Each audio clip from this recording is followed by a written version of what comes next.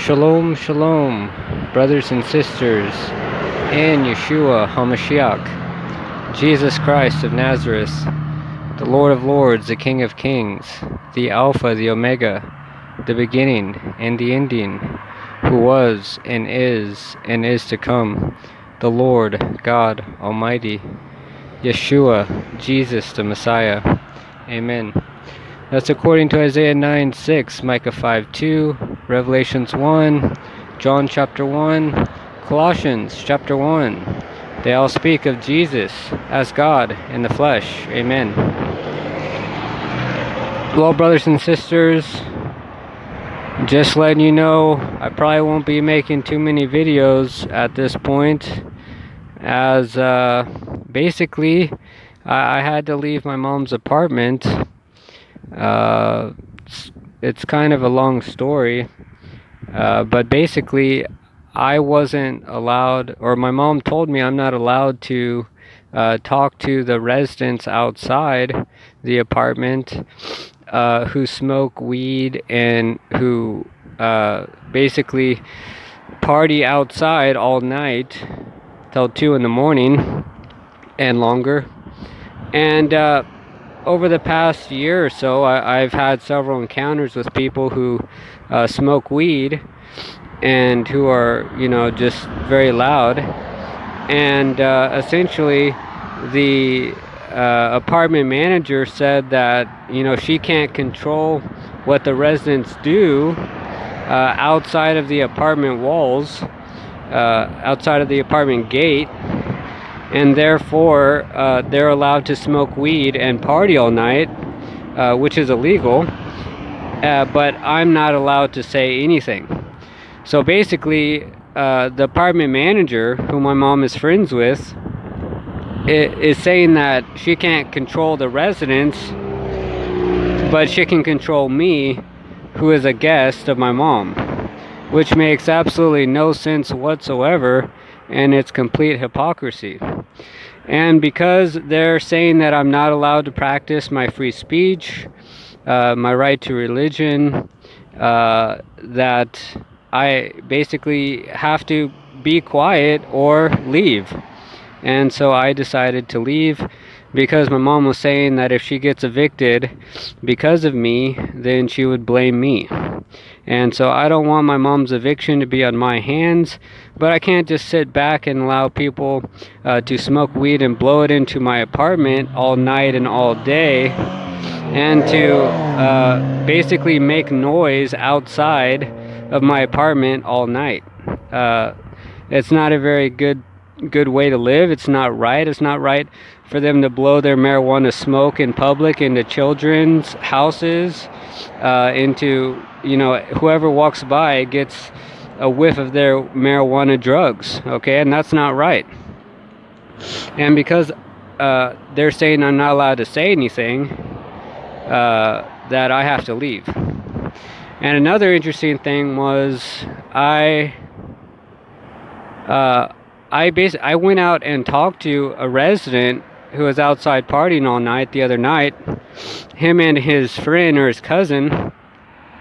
And I go out there at about 1:30 or 2 in the morning and I tell them or they ask me, "Hey, what's going on?" And I say, "Hey, I'm just going for a walk because I'm tired of hearing you guys talking all night."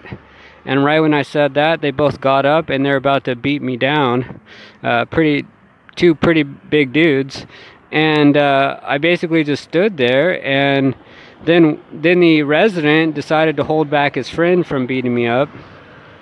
And uh, and then we were talking about religion. He admitted that he was wrong for being out there all night. But then he started to say that he was God and that he's a real Jew because he's black and that basically I'm a fake Jew and that he is Christ and and uh, the Bible is false and all this other stuff. And I basically tell him, no, you're wrong. You're basically going to have to stand before Jesus and give an account for your sins. And then uh, we are somewhat at peace at that time. And then his friends started uh, saying, well, I got to go now.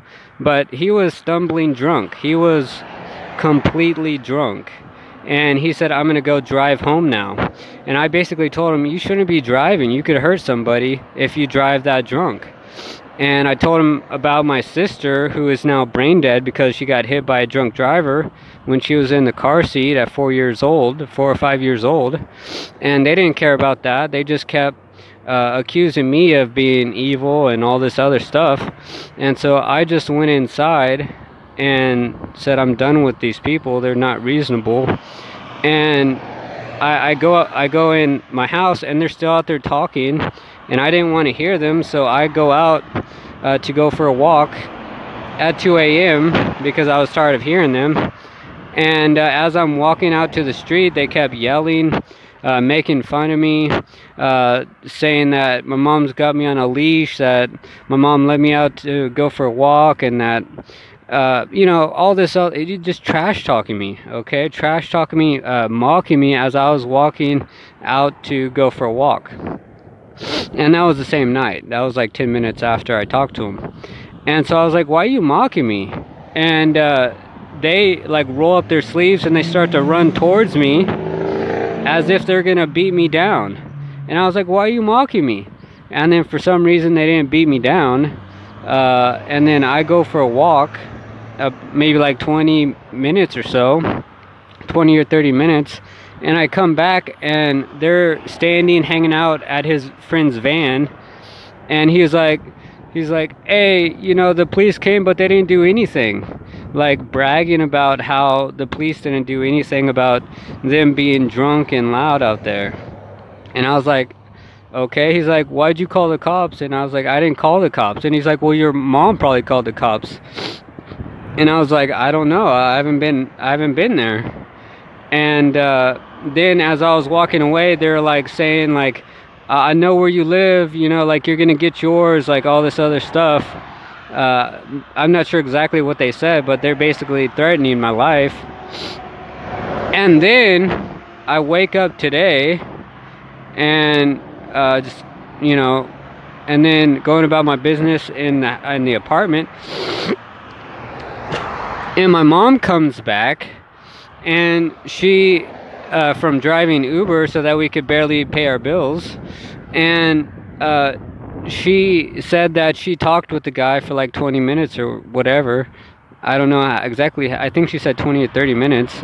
And she said that uh, she was talking to him because they're out there all day with their music, sitting on their like camping chairs with their whole family out there, just being super loud.